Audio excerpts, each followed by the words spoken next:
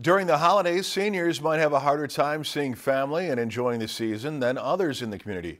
A program in the area is working to make their holidays a little brighter. Our reporter Rachel Johnson has more.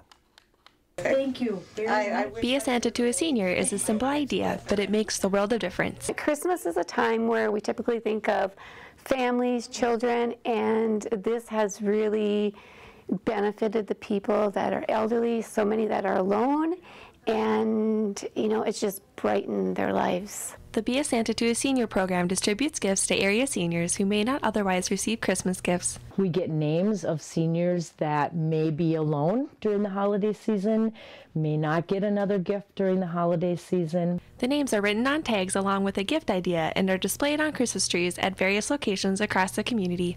The gifts can be dropped off at 11 different locations across town up through December 12th. The program began in 2003 and is put on by Home Instead Senior Care. We get them wrapped, we get it organized, and on December 18th this year, there'll be 416 gifts delivered to seniors in our community.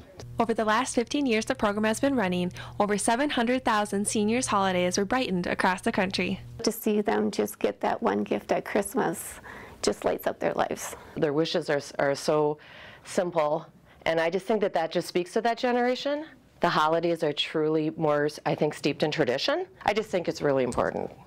It means a lot to them. According to the organizers, the impact that the program has is immeasurable. I think seniors a little bit get um, ignored during the holidays. We have a lot of things for kids, which are great. And seniors don't demand much, so they literally get overlooked. Um, so it's just a great way to someone anonymously appearing at their door to say Merry Christmas. The need continues to grow year after year, and um, I just think that that speaks in itself why why it's so important for people to consider this and reach out to to seniors that have given to us their whole lives, so it's time to pay back. Though the gift requests might be small or simple, they have a huge impact on the person receiving them.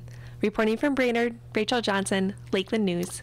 To see a list of locations in the Brainerd area where the names and gift ideas can be found, you can visit the story on our website, lptv.org. If you enjoyed this segment of Lakeland News, please consider making a tax-deductible contribution to Lakeland PBS.